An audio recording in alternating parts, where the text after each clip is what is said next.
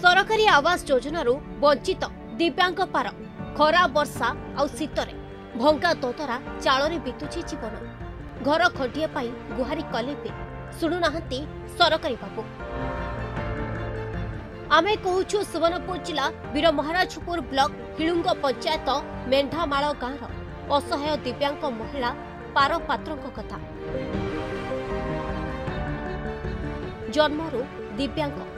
ପାର ଠିକ୍ରେ କାମ କରିବା ତ ଦୂରର କଥା। ଠିକ୍ରେ ମଧ୍ୟ ଚଲାବୁଲା କରିପାରନ୍ତି ନାହିଁ। ଦିବ୍ୟାଙ୍ଗ କାରଣରୁ ପାର କୌଣସି କାମଧନ୍ଦା କରିପାରୁନଥିବା ବେଳେ ସମ୍ପର୍କୀୟମାନଙ୍କ ସହାୟତାରେ କଷ୍ଟେ ମଷ୍ଟେ ଚଳିଥାନ୍ତି। ତେବେ ଦିବ୍ୟାଙ୍ଗ ପାରଙ୍କ ପାଇଁ ସମସ୍ତ ପ୍ରକାର ସରକାରୀ ଯୋଜନା ସତେ ଯେମିତି ସ୍ୱପ୍ନ ପାଲଟିଛି। ଏମିତିକି ଦୀର୍ଘ ବର୍ଷ ହେବ ଭଙ୍ଗା ଚାଳ ଘରେ ଦିନ କାଟୁଥିଲେ ମଧ୍ୟ ପାରଙ୍କୁ ଏପର୍ଯ୍ୟନ୍ତ ସରକାରୀ ଯୋଜନାରେ ଘର ଖଣ୍ଡିଏ ମିଳିପାରିନାହିଁ ଘର ଦ୍ୱାର ବିଲ୍ କିସ ନାଇନ ସବୁ ମାଡ଼ି ମୁଡ଼ା ବଇଲାନ ଆର୍ ମୁଇଁ ବଇଛାଁ ଏଇଟା ଘର ମାଗବାର୍ ଲାଗି ଯାଇଥିଲି ସବୁଆଡ଼େ ଯେ କେହି ନାଇଁ ଦେଲେ ଘର ବଖରେ ଇଏ ବିଡ଼ିଓ ସବୁ ନିକି ଯାଇଥିଲି ଆର୍ ବାପାର ନାଁରେ ଘର ବଖରେ ଆଇଥିଲା ଯେ ଗଲା ସେଟା କାଟିଦେଲେ ଆର୍ ଏଇଟା ମୁଇଁ ଘରେ ଅଛାଁ ତୁମ ପଣି ସାଇ ପଡ଼ଶାରେ ଚଲୁଛାଁ ଯାହାକେ ଯେନ୍ତା ଡାକି ହାକି କରି ଆଉ କିଏ ପାଣି ଟିକେ ଦଉଛେ କିଏ ଭାତ ଯୋଡ଼େ ଦଉଛେ আর তাকর বাপা নাঁরে ঘরটে আসিলা সেটা মাসে হোলা সে এক্সপার্ট করে চালিগলে তাপরে ইয়ে আইলা ঘর আসিছে বলি সে ঘর এমতিকি পঞ্চায়েতকে ডবিলনু ଇଏ ନିକି ଗଲୁ ଭିଡ଼ିଓ ନିକି ଗଲୁ ହଁ ହେବା ହେବା ହେବା ହେବା ବୋଇଲେ ଆଜିକେ ବର୍ଷେ ଦୁଇ ବର୍ଷ ହେଲାନ ସେଟା ନାଇଁ ହେବା ଅନ୍ୟପଟେ ସରକାରୀ ଯୋଜନାରେ ଘର ଖଣ୍ଟିଏ ପାଇଁ ପ୍ରଶାସନ ନିକଟରେ ପାର ବାରମ୍ବାର ଅଭିଯୋଗ କରୁଥିଲେ ମଧ୍ୟ କୌଣସି ସୁଫଳ ମିଳିନଥିବା ଦେଖିବାକୁ ମିଳିଛି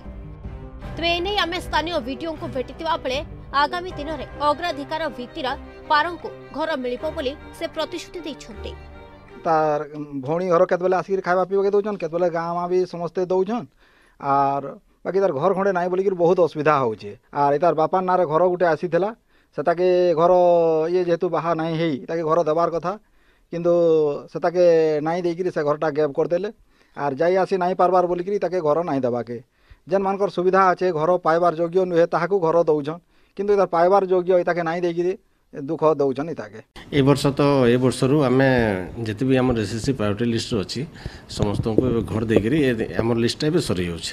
ୟା ପରେ ଆମର ଯେ- ଯେଉଁମାନେ ବି ବାଦ୍ ରହିଲେ ଯେଉଁ କୋଚାଗର ଅଛନ୍ତି ଯେଉଁମାନେ ଏଲିଜିବୁଲ୍ ପର୍ସନ୍ ସେମାନଙ୍କ ପାଇଁ ଇନକ୍ଲୁଜନ୍ ଗୋଟେ ବ୍ୟବସ୍ଥା କରାହେଇଛି।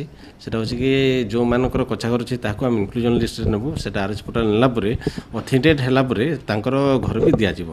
ଆପଣ କହିବା ହିସାବରେ ସେ ଯଦି ଏସ୍ ଏସ୍ ସି ଲିଷ୍ଟରେ ନାହିଁ ଏବେ ବୋଲେ ତାହାକୁ ଆମେ ଇନକ୍ଲୁଜନ୍ ନେବୁ। ତାଙ୍କ ଆବେଦନ ଏବେ ଆମେ ରିସିଭ୍ କରିବୁ।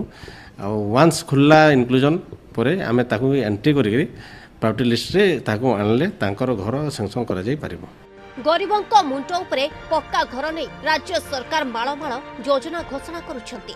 ହେଲେ ପ୍ରଶାସନିକ ସ୍ତରରେ ଉଦାସୀନତା ଅଭାବ ଯୋଗୁଁ ପାରଙ୍କ ପରି ଅନେକ ଗରିବ ଅସହାୟ ଘର ଖଣ୍ଡିଏ ପାଇବାରେ ବଞ୍ଚିତ ହେଉଥିବା ଦେଖିବାକୁ ମିଳିଛି। ଯାହା ରାଜ୍ୟ ସରକାରଙ୍କ ମାଳମାଳ ଯୋଜନାର ବାସ୍ତବତା ଉପରେ ପ୍ରଶ୍ନବାଚୀ ସୃଷ୍ଟି କରିଛି। ସୁବର୍ଣ୍ଣପୁର ସତ୍ୟବ୍ରତ ପ୍ରଧାନଙ୍କ ରିପୋର୍ଟ ଅର୍ଗସ୍ ନ୍ୟୁଜ୍।